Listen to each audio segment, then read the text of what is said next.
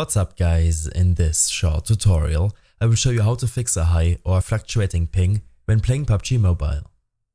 This tutorial will be showcased on iOS 14 and these steps will also be suitable for Android devices. First, make sure that the servers are working fine by clicking on the first link in the description below. Here, you can use the live outage map to see where the problem is coming from. In case the servers are working fine, then the issue might be related to your own network connection. I suggest that you test your cellular and Wi-Fi connection using a speed testing app or by visiting speedtest.net. This will help you find out if you have connection issues and which connection suits you the most. If you have to use a Wi-Fi connection, then make sure to restart your router or modem if you haven't done this in a while and reduce the amount of devices connected to the same network.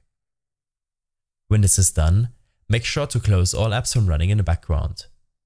These would otherwise just use up your bandwidth, causing the game to lag more. Open up your native settings application. Here in the General tab, navigate to Background App Refresh.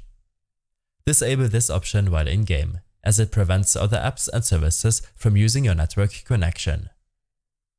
In your General settings, navigate to Software Update Make sure that your device is up to date. This can in some cases help with connection issues. Back in your general settings, navigate to Reset. Here, tap on Reset Network Settings in case the issue persists.